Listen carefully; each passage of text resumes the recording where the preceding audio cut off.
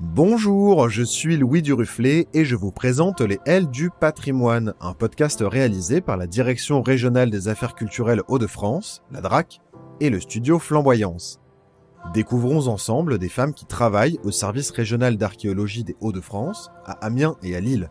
Bonne écoute alors, je m'appelle euh, Émilie Goval, je suis ingénieure d'études au service régional de l'archéologie euh, sur le site d'Amiens à la DRAC euh, Hauts-de-France et je suis en charge de, l'instruction et du suivi des, dossiers d'urbanisme et d'aménagement pour l'archéologie, donc au sein, au sein d'une partie des Hauts-de-France. Alors euh, le, le, cœur de cette mission, c'est euh, d'instruire les, les, permis de construire, les permis d'aménager, les permis de démolir euh, qui nous sont qui nous sont transmis et d'évaluer le potentiel archéologique avant le début des constructions d'aménagement qui auront lieu sur sur les terrains. Il y a plusieurs aspects à ce à ce travail. Il y a un accompagnement en effet des aménageurs qui va nécessiter de produire à la fois des phases de diagnostic, donc d'évaluation et ensuite euh, de fouille. Et puis il y a aussi euh, tout un travail de recherche scientifique qui est mené en parallèle parce que bien entendu on, cherche euh, à replacer l'ensemble de ces découvertes dans un contexte scientifique plus large. Émilie Goval est notamment spécialiste de la préhistoire. Alors la région des Hauts-de-France, elle est très riche euh, en termes de découvertes pour la préhistoire. Elle est, la vallée de la Somme est considérée comme le, berceau de la préhistoire, où on a euh, des, traces d'occupation humaine euh, qui font partie des plus, des plus anciennes en Europe du Nord-Ouest. Et les plus anciennes connues se situent à proximité d'Abbeville. elles datent de 650 000 ans. Donc on est vraiment sur des périodes très anciennes. 650 000 ans, on est euh, bien avant euh, l'Homo sapiens, euh, avant également l'homme de Néandertal. On est vraiment sur les, premiers peuplements humains en Europe. Finalement, quand on fait de l'archéologie, on peut pas réduire le travail de l'archéologue à la simple fouille sur le terrain, même si c'est souvent cette vision-là qu'on en a, et bien sûr, elle existe et elle est importante. Quelle est la place de la femme dans votre métier? Les, équipes d'archéologues sur le terrain, elles sont généralement euh, mixtes. On a toujours un responsable d'opération. Ces responsabilités, désormais, elles sont aussi bien portées euh, par des hommes que par des femmes, euh, quelles que soient les, les périodes chronologiques.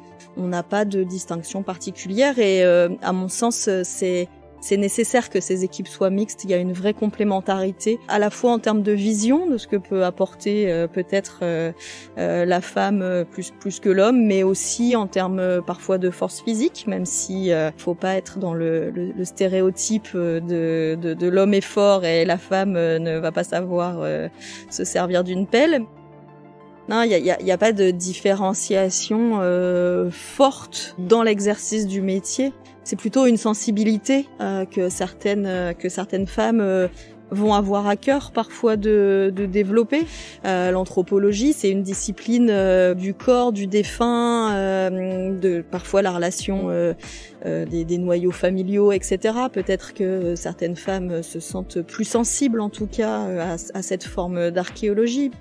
Moi, je suis née euh, au sein d'une fratrie euh, féminine, donc euh, il est vrai que mon père, chef d'entreprise, avait à cœur de nous inculquer la, la, place de la femme dans le monde professionnel, et il savait à quoi on serait sûrement confronté à la fois dans nos études, mais dans notre vie professionnelle. C'est vrai qu'ayant choisi une spécialité tournée vers la préhistoire, qui est plutôt un monde euh, masculin, même si euh, il n'est pas fermé euh, absolument pas au, monde féminin. Et, donc c'est vrai que moi j'ai souvent été plutôt entourée de collègues et masculins au cours de mes études, de mon doctorat. les, les directeurs de thèse étaient souvent masculins que, féminins. Euh, c'est encore vrai aujourd'hui, même si à ces postes-là, on voit également euh, émerger euh, la présence de, figures féminines plus importantes qu'avant.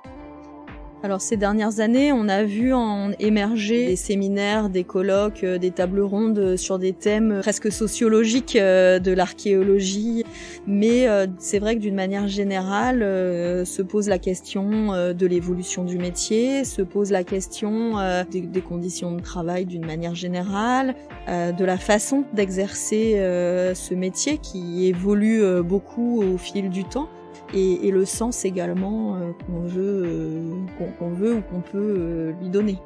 la place de la femme, elle peut être discutée dans certains colloques. On a vu, on a vu des, des colloques plutôt à l'échelle européenne qui intègrent différentes thématiques et on a vu émerger récemment dans certains colloques ces, ces problématiques ou en tout cas ces réflexions. Émilie Goval me mentionnait une histoire vécue qui l'a marquée dans son métier. Lors de mes études euh, de doctorat au début des années 2000, euh, je faisais partie d'une équipe euh, française qui travaillait en Roumanie et j'étais la seule femme de l'équipe française. Les fouilles se, se, développaient dans la campagne roumaine et à cette époque, il est vrai que la place de la femme en Roumanie, en tout cas dans les campagnes, était de s'occuper du foyer, de s'occuper des enfants, de, s'occuper de, de la vie de famille euh, pendant que pendant que les hommes euh, partaient travailler la journée. J'ai vraiment eu euh, un, regard qui s'est posé sur moi pendant ces missions qui étaient particuliers ou en tout cas que je ne vivais pas dans mon quotidien en France parce que ces femmes roumaines étaient étonnées de voir une étudiante jeune qui partait avec une équipe d'hommes loin de sa famille pour faire des missions de plusieurs semaines et également à l'inverse euh, ce regard euh, différent qui se posait également euh, lors de nos sorties. Et donc même si c'était pas interdit il était très rare de voir une jeune femme dans un restaurant ou autre dans ces campagnes roumaines à cette époque. Et en fait on avait coutume de, de, de dire que enfin entre nous on, on avait l'impression que ces campagnes roumaine, euh, c'était la vie des années 50 en France. C'était euh, ce que nos parents ou nos grands-parents pouvaient euh, nous expliquer. J'avais l'impression de vivre ce que ce qu'ils me racontaient de leur vécu enfant. C'était assez étonnant parce que là, du côté roumain, la mission était portée par une femme qui travaillait dans un musée, mais l'équipe euh, de fouilles était euh, constituée uniquement euh, d'hommes également. Il n'y avait pas de, femmes présentes au niveau des travaux de terrain, de terrassement, etc. Au, début, je, pense qu'ils avaient un certain regard de se dire elle sera pas capable. Au fur et à mesure du temps, en effet, on, arrive à montrer qu'on sait faire la même chose. Je, sais également euh, que ce vécu euh, n'aurait pas été le même si cette mission s'était passée euh, en ville. J'ai vraiment eu une réflexion finalement sur la place qu'occupe la femme dans les années 2000 en France, dans mon cadre universitaire, où en effet on est on est libre, on vit sa vie de, jeune étudiante et, euh, et, et, cette réalité forte qui existait encore euh, dans ce pays euh, pas si lointain du nôtre. L'archéologie, c'est un métier euh, passionnant de par le fait qu'il est au, cœur et à la conjonction d'énormément de disciplines. C'est une multiplicité de sciences et d'approches et donc c'est un métier extrêmement riche et donc enrichissant. Le patrimoine français mérite cette attention particulière euh, pour qu'on puisse euh, continuer à transmettre aux générations futures notre histoire, qu'elle soit euh, locale, régionale, nationale l'une des meilleures façons de s'apprivoiser son passé, ça reste de, fréquenter les musées. Ça, voilà, il y a, y a, beaucoup de musées de France, mais aussi des musées associatifs qui, qui regorgent euh, de, de, de, découvertes euh, significatives et qui méritent d'être euh, montrées au public et qui méritent d'être découvertes ou redécouvertes. Il faut pas, il faut pas hésiter à pousser les portes à la fois des différentes institutions, mais, mais aussi du musée et des richesses qu'ils peuvent, qu'ils peuvent comporter pour pouvoir diffuser, valoriser et faire parler autour de soi des, des, découvertes pour sensibiliser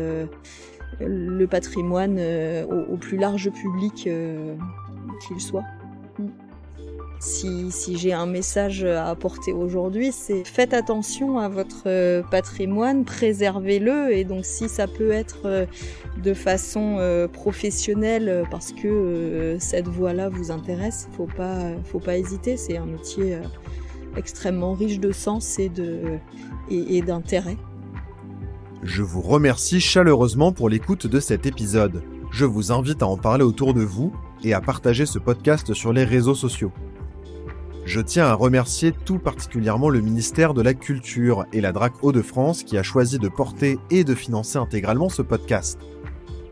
Un immense, immense merci aux équipes et particulièrement à Karine Delfoli, Élise Lemarchand et Caroline Briche-Cadrin. Vraiment merci. Ce podcast a été réalisé par le studio Flamboyance, produit par Louis Duruflé, et les musiques sont de Unicorn Heads. À bientôt!